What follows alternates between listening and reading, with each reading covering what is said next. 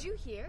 What? What is it? The title of our movie. Is it what I think it is? Descendants 4 has a new title, so let's break it all down. What's going on, you lovely people? Lisa here, and it's been a while since I've done an update on the next movie in the Descendants franchise. Since the last video I did, I know we've got a ton of new cast members that have been announced, and we have a brand new title for the movie, so let's dive in. When this movie was originally announced, the working title was The Pocket Watch, or Descendants colon The Pocket Watch, and we knew this movie would be kind of a spin off more so than maybe a sequel in a sense, as this movie follows the characters of Red and Chloe, aka the daughters of the Queen of Hearts and Cinderella. So last year at the D23 Expo, the title card for the presentations for Descendants 4 was up on the big screen, and it was called Descendants 4, not the Pocket Watch. So at that point, I figured Pocket Watch must just be the working title, it's gonna go out the door at some point. Well, now we know the official title of the fourth film in this franchise thanks to four of the movie's actual stars. That was great. Guys, What? did you hear? What? What is it? The title of our movie. Is it what I think it is? Descendants, the rise of red! yeah!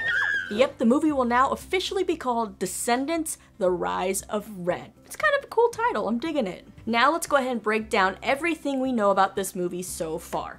Plotline The film follows Red, the rebellious daughter of the Queen of Hearts, and Chloe, the perfectionist daughter of Cinderella. When the Queen of Hearts incites a coup against Auradon, polar opposites Red and Chloe must join forces to travel back in time via the Mad Hatter's son's magical pocket watch. They must undo the traumatic adolescent event that sent Red's mother down her villainous path. So, yeah, time travel is kind of always a fun plot point or motivator, so it should be fun to see exactly how they do this. But then you have to wonder if they're successful, will Red still even exist if the Queen of Hearts path changes? Time travel movies. There's always consequences, right? As far as the music goes, the movie will feature seven new songs and Disney classic songs that will help advance the story. Now, let's talk about the cast. We have China Anne McClain returning to this Descendants world as Uma for the fourth installment. She's the only main character from the previous movies to return. Also returning from the OG franchise is Melanie Paxson, who was the fairy godmother. Now, newcomers to the franchise include Kylie Cantrall from Disney Channel's Gabby and the Unsittables as the rebellious Red, and Malia Baker from the Babysitters Club as Chloe. They will be our title characters. Then, as their mothers, we have Rita Ora as the Queen of Hearts and the one and only Brandy as Cinderella, which just makes my heart so happy because I know I am not the only one who watched her version of Cinderella back in the day on repeat. Now, of course, we have to wonder is this the same Cinderella in the same universe, or is this a different universe? Because we actually get a young Prince Charming in this movie who happens to be played by another Filipino actor or actor of Filipino descent, just like the prince in Brandy's version. But that also brings up some other questions when it comes to the casting. Because we have seen the character of Chad Charming, played by Jedediah Goodacre, in the previous movies. He is the son of Cinderella and Prince Charming. I actually think we might have seen glimpses of Cinderella and Prince Charming in those first few movies, even though they might not have spoken or whatever. So this begs the question of do we erase that we saw that? Is this like some kind of multi universe, other dimension? Which I don't think it is if we're having the same characters, but who knows? Multiverses are very popular right now.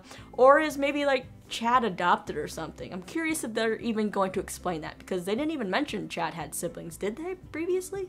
Alright, but back to who's going to be in this movie. We have High School Musical, the musical, the series fan favorite Dara Renee playing the part of Uliana, the younger sister of Ursula. She is a teen sea witch and mean girl bully with eight wicked tentacles and a crew of lackeys. So basically, she's Uma's aunt. So most of the characters we're going to be introduced to, it seems like will be part of the time travel back in time in the past. But I know I can't be the only person who wishes it was present day that we're going to see this character because I would love a duet between China and Dara. I think that would be epic. Alright, and speaking of back in time, instead of Auradon prep, we'll be meeting the teen versions of some of our favorite characters as they attend Merlin Academy. New characters include Ruby Rose Turner from Coop and Cami as Bridget, the young Queen of Hearts, who is sweet natured, bubbly, and generous, the opposite of her grown up self. Now that's pretty interesting because I'm not sure if I really think Ruby and Rita look much alike, but I guess we're gonna have to see. Morgan Dudley will play Ella, or young Cinderella, who is blunt, pragmatic, and has a bit of a chip on her shoulder about being forced to work by her wicked stepmother. Joshua Robert Coley from senior year plays Hook, one of Uliana's lackeys, a rich kid with a hoop earring and a shiny hook where his left hand should be. His arrogance is only surprised by his vanities. Now, other Merlin Academy students include Anthony Pyatt as young Hades, the younger version of Cheyenne Jackson's character, Peter Lindell as Morgie, the son of Morgana Le Fay from the Arthurian legends. He's also one of Uliana's lackeys. Sam Morelos plays Zelly, the teen daughter of Rapunzel. I love Rapunzel, so I'm kind of glad she's getting some representation here. We have Mars playing young Maleficent, or the young Kristin Chenoweth character. Tristan Padil will play teen Prince Charming. Kabir Beri is teen Aladdin, while Aza Azar, I'm sorry if I pronounced that wrong, is teen Jasmine, and Grace Narducci plays Faye, the teenage fairy godmother. Finally, we have Ted Lasso star Jeremy Swift as Principal Merlin and Leonardo Nam as Maddox, the son of the Mad Hatter, who is the royal inventor in chief for the Queen of Hearts, as well as Red's tutor and friend and the maker of the well pocket watch. So yeah, that is a lot of new characters to digest and meet. I know Chloe and Red are gonna kind of be at the forefront, as will probably Uliana and Hook, as those were kind of the four main people announced at the very start, and then we're gonna meet all these other people who are students. But this leads the door leaves the door open for so many ways that this franchise could go.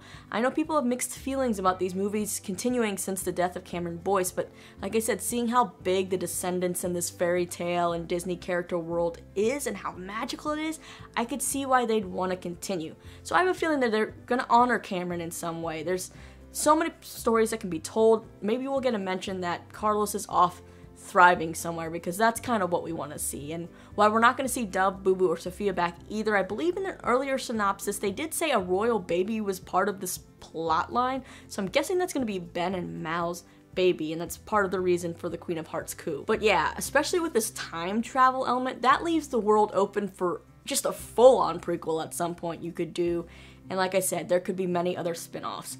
Now, we don't have a release date as of yet for this movie since it's just wrapping up filming and production, but you never know, it could be here by the end of the year or maybe early next year. Alright, so as of now, that is all the details we really have about Descendants 4, or as we now will call it, Descendants Rise of Red. I gotta know all your thoughts and theories down in the comments. What do you think about this new title, the plot? What character you're you most excited to meet?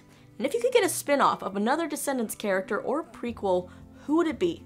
My vote Dizzy, played by Anna Cathcart, who I absolutely love.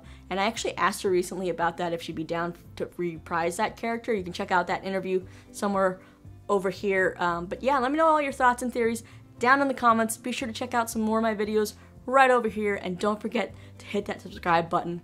And as always, my name is Lisa. Thanks for hanging out with me and listening to me ramble. I will see you again very soon.